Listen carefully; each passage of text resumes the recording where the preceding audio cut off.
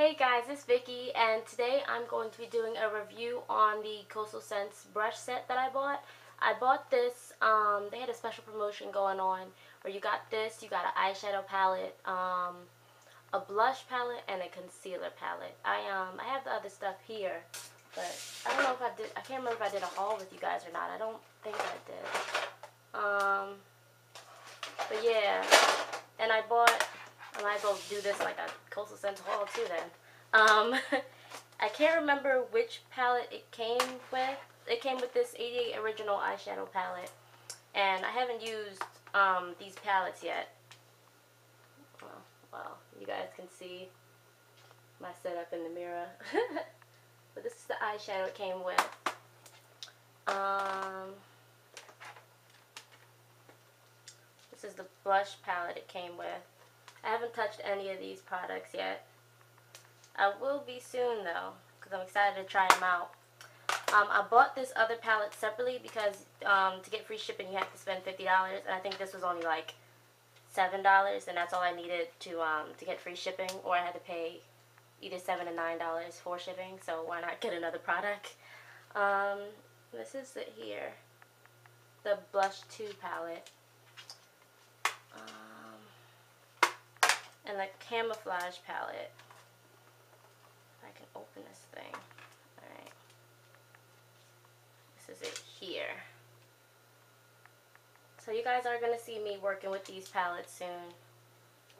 Um, and I'm going to do a review on this stuff as well. But this video is all about the Coastal Scents brush set. I have used this in a couple of my tutorials because I wanted to um, I wanted to make sure that I use as many of the brushes as possible so I can give you guys a completely honest review. So this is it opened up.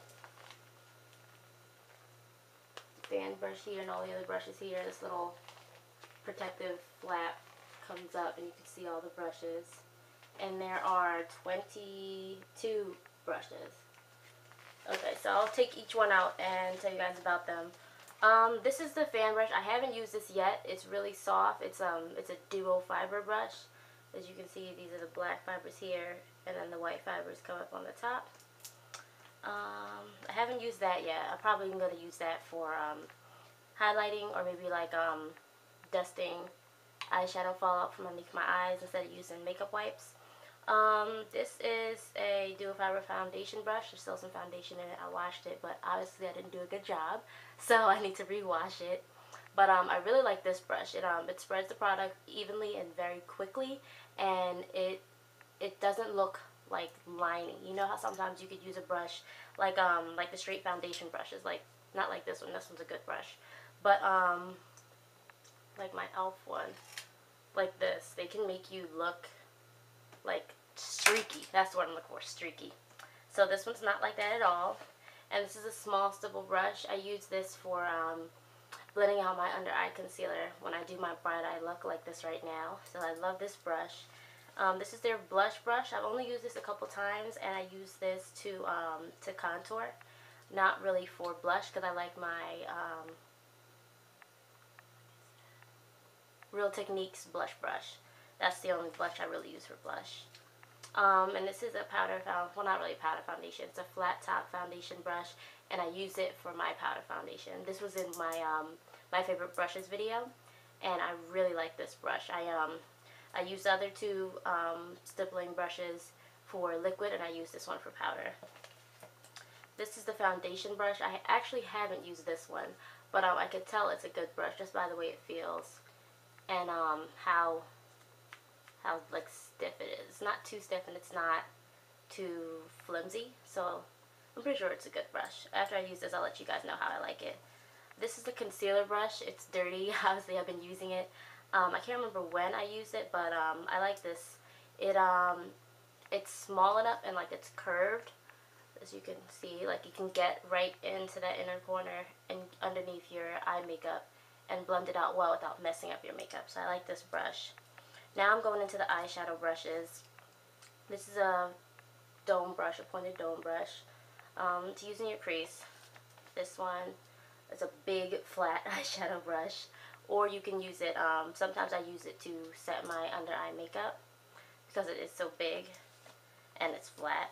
This is an angled foundation, not foundation, eyeshadow brush. And I mainly use this to, um, to blend out colors, bring them up higher towards my brow bone.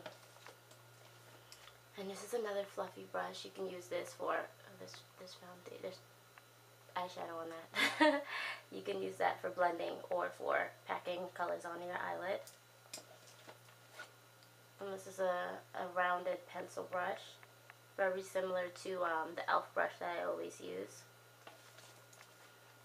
And this one is more pointed version of that.